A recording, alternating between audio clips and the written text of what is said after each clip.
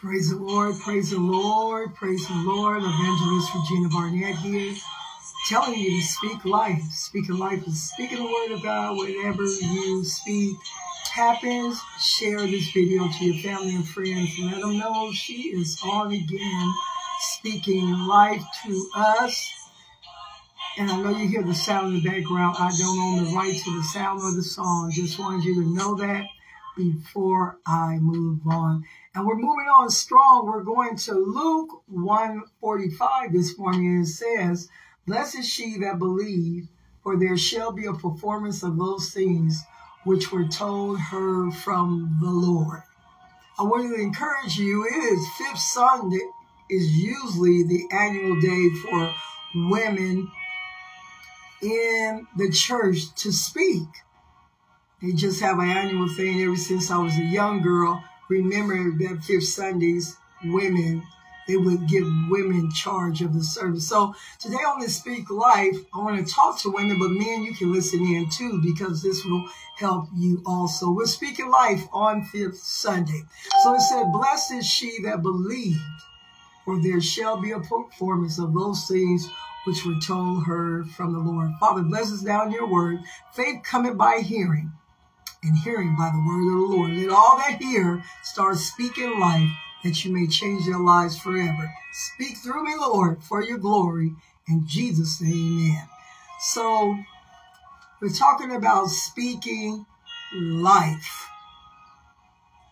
And he said, bless. Good morning to you, Anita Noble. Blessings to you this morning. Thank you for always sharing, commenting, and listening, supporting also. That's a support. It gives you faith to keep going on when you see people continuing to watch.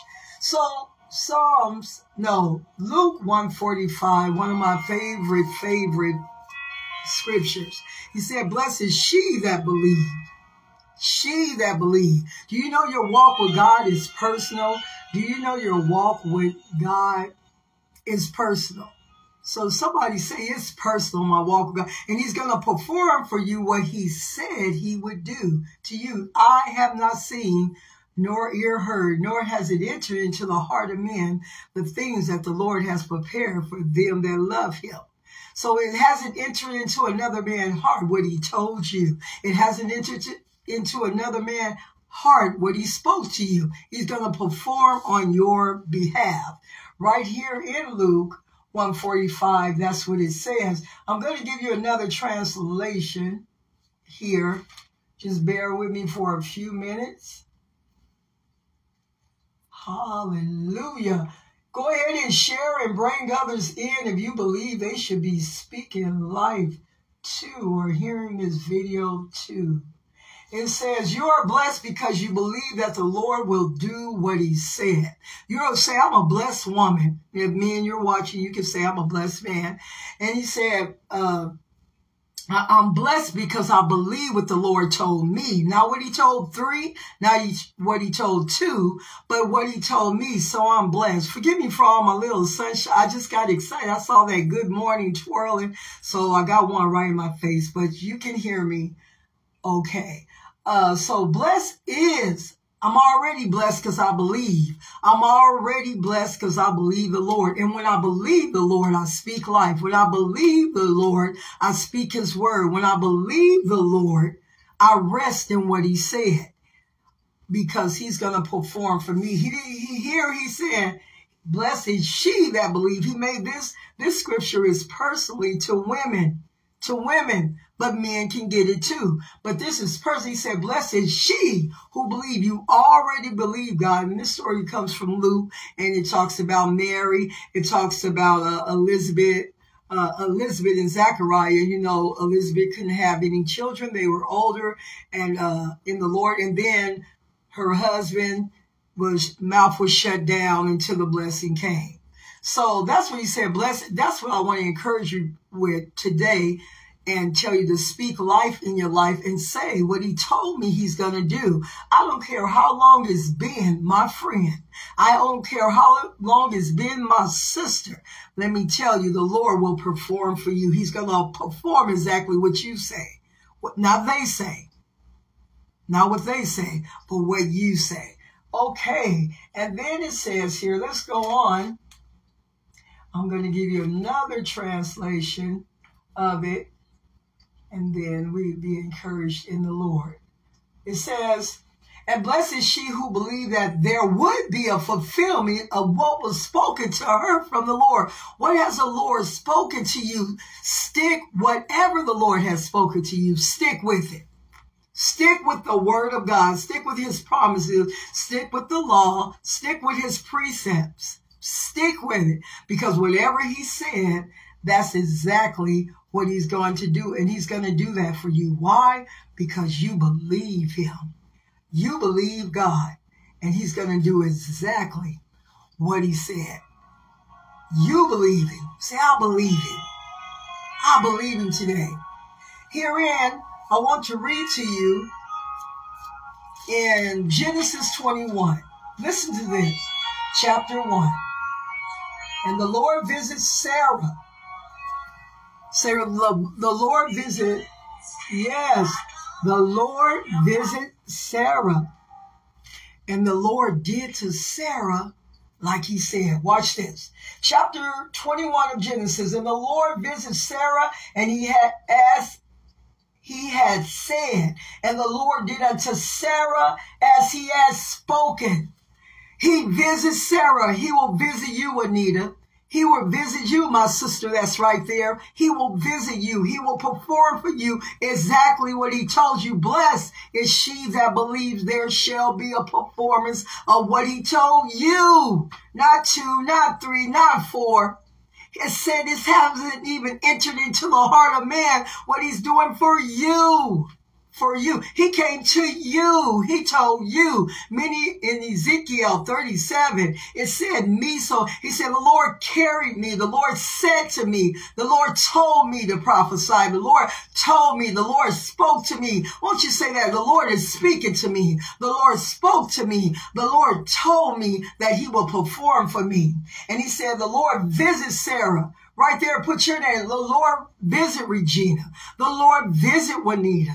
The Lord visit my sister that's on here. He visit them, perform to them exactly what he said. What has he said to you? That's exactly what he's going to do. I know it looks rough, it looks tough, it looks challenging, but he's going to do exactly what he said. And look in verse 2 of chapter 22 of Genesis. For Sarah conceived and bare Abraham a son in his old age at the set time of which God has spoken to him. And then right over here, I want to um, give you this also. In 1721, it says, Hallelujah. But my covenant will I establish with Isaac, which Sarah shall bear unto thee at this set time next year. And I hear the Lord saying, your time is now. Your favor is now. Now remember Ruth and remember, uh, it was Orpah and it was Ruth, Orpah and Ruth. And Ruth, uh, Orpah kissed Naomi and, uh, Ruth cleaved to Naomi. Why I'm saying this because you don't just kiss the word and go with it, but you cleave to the word like Ruth did. She cleaved. She cleaved. She said, my God will be your God and all of this. And look at the blessing that she got following Naomi. Now it was hard to follow Naomi because Naomi had become negative because of her situation. But through that negativity, through that neg, she followed a woman that was uh, hurt. She followed a woman that didn't have anything anymore. She even told them that that's why you got to watch where you follow because the Lord wants to perform for you where you're going. You think uh, he wants to perform for you when you get somebody nice in your life, even a nice mother-in-law, a nice uh, aunt, a nice um, mother, whatever the case may be. But the Lord might have you following something that's hard, that's challenging, but that's not going to stop him from performing for you. Sarah was barren. If you go to chapter uh, 11 of Genesis, it says Sarah was barren. Then if you go to Luke 1, guess who else was barren? Elizabeth was barren, had nothing. It was that she couldn't have no baby, but it didn't. It started like that, but it didn't end up like that. Would somebody say right now, I started like this, but I'm not going to end up like this? Why? Because the Lord has you. The Lord has you in his hand and he's going to perform for you just like he performed for Sarah. Barren, but perform. She was empty, but he performed. Couldn't have no baby, but boy, she gave him a son in the old age. I'm saying, don't look at your age. Look at the word of God. Don't look at your age. Look at the word of God. Don't look at your age. Look at his laws, his precepts. Hallelujah. Look at the scriptures. Look at the Bible verses. Don't look at your age because nothing can stop the Lord. Nothing can stop the Lord. He's performing on your behalf. Well, I hope you're excited on this fifth Sunday. Hallelujah. I know a lot of you online, but if you can go into the house of the Lord, hallelujah, hallelujah. If you can go and get into the house of the Lord today, if you don't have a place of worship to go, just leave a detailed message and you're in the local Las Vegas area and I will let you know where you can go. Hallelujah. In Jesus' name, I just thank you today for being on here. It is Fifth Sunday.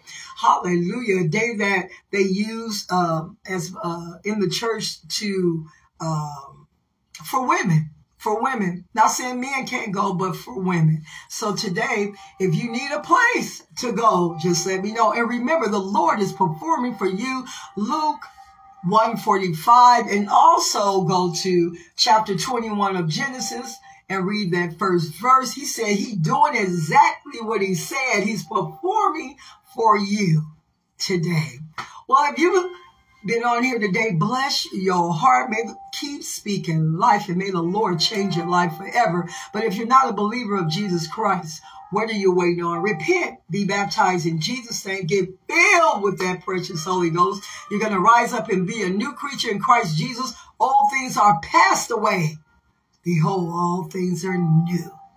If you said that right now and you gave your life to the Lord, heaven rejoices over one soul that repents, one sinner that repents. So heaven is rejoicing over you this morning. One soul, one soul, heaven rejoices. So he's rejoicing with you today and we rejoice. You gave your life to the Lord. If you need more information on the salvation of Jesus Christ, leave a detailed comment. Y'all, I check my comments. I check them so I can see if people need prayer, if they need a t-shirt, whatever they need. But number one, they want to give their lives to the Lord. So we celebrate with you today. Go and find you a Bible reading church, a Holy Ghost filled, baptized, speaking in tongue church. Find that. And if you can't, leave me a detailed message and I'll be sure to get back to you. Well, I'm excited. July 1st on the mic. You guys want to, I'm excited.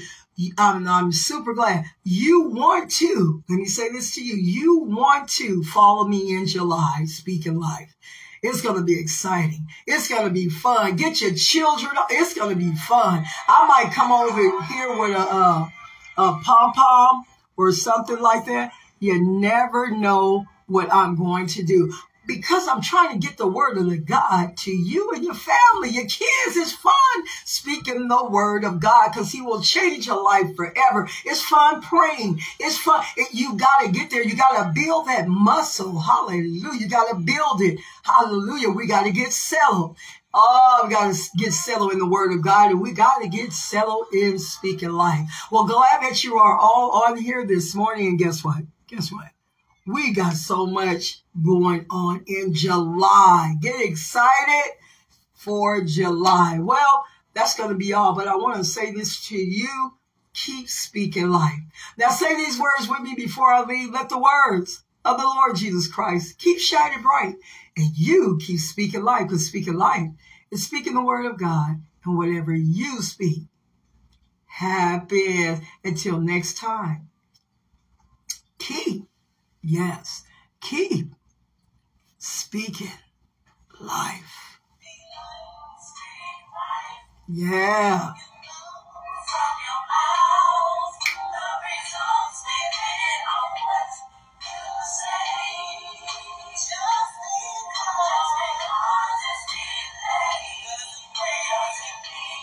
You know I don't own the rights to the song. I just wanted you to know that before I go on. Speak life. The Elwood sisters, they own the rights to this song. Until next time, keep speaking life.